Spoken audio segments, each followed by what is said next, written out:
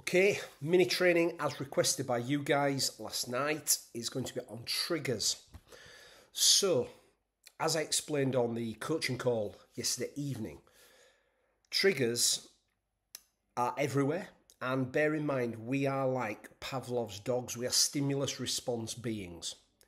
You see a red light, you hopefully stop. You hear a certain song, it brings back a memory of a time and a place. We work by association.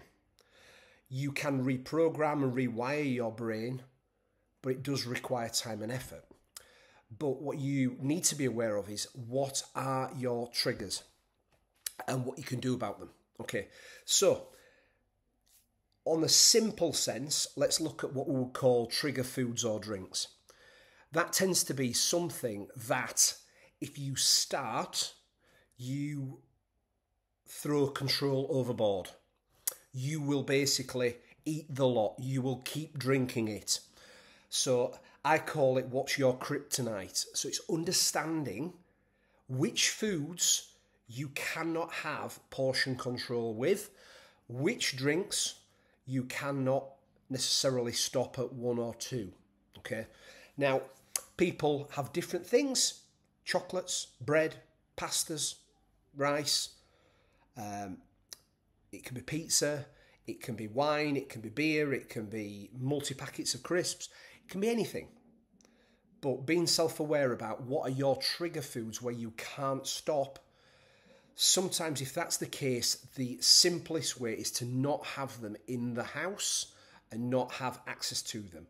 Control your environment, like we talked about last night. So that's one simple way is to simply not have them in the cupboard, not have them in the fridge, so you've not got access. And it means if you want a food or a drink like that, you have to necessarily get in the car and go and get it. You're increasing the friction to the act. Whereas if it's in the cupboard and it's easy to access, you're more likely to, when stressed, when mad, when sad, which we're going to come on to next, which is state and emotions we discussed last night, you're more likely to reach for these things. Okay, because they tend to be hyper palatable, devoid of nutrient type foods. So, lots of fat, lots of sugar, lots of spices on them, or in the, in terms of alcohol, sugar, alcohol. Yeah, it creates that. Oh, I need another one to re- replicate that feeling. So one can leads to two to three to four. One glass of wine you finish the bottle. We've all been there, you understand this concept. So, being aware of what are triggers for you is essential. Next thing is, like I discussed last night, is your state. Now, we talked about ways of controlling and changing your state because if you are sad, mad, depressed, angry, those states tend to lead to binging or having things that take you off plan.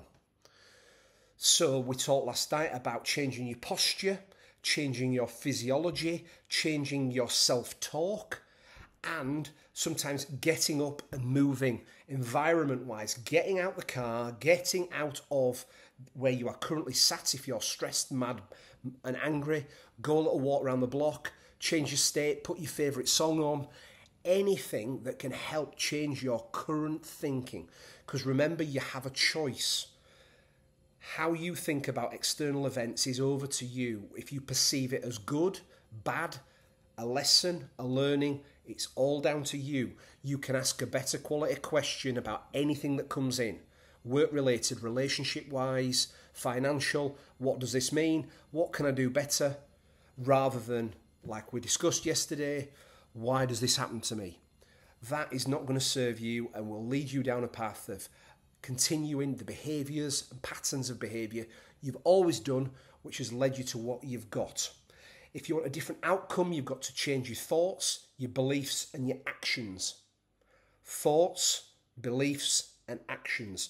Those three have to change for a different outcome. Otherwise, your outcomes will always be the same. Okay?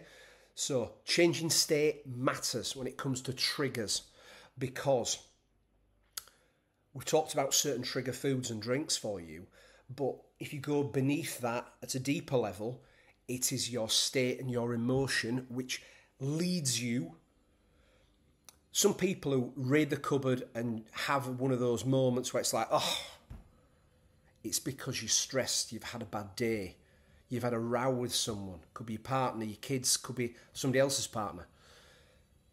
Doesn't matter, but something has triggered you, which has led your mind then to go down a path of, oh, whatever, doesn't matter, oh, I'll eat it, I'll drink it. So, like I've said, being able to scratch the record, as we talk about in NLP terms when I coach people, you stop the record playing.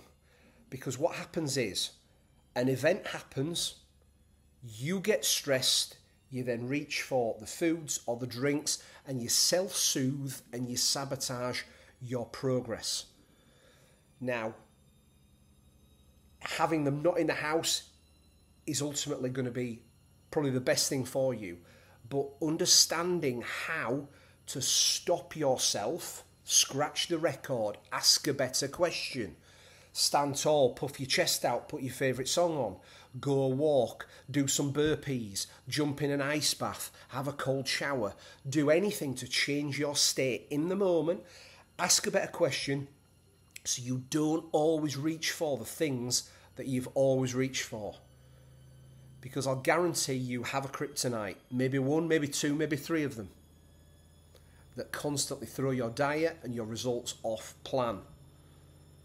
And it's knowing what they are, trying not to have them in the house, and more importantly, having control over your mind and your state so you don't reach for them and you feel more in control and you can step back, choose a different course of action, ask a better question, and then not go down that road that you've always gone down when you get stressed, mad, sad, angry. So I hope that makes sense, and I hope that again just reaffirms when it comes to triggers, trigger foods, you actually have control over this if you choose to. That's the key thing. It's over to you on this one. I can give you the tools, the tricks, the tactics, and everything else, but you've got to remember you're steering the bus you're flying the plane. The direction you go in is over to you. Hope that helps.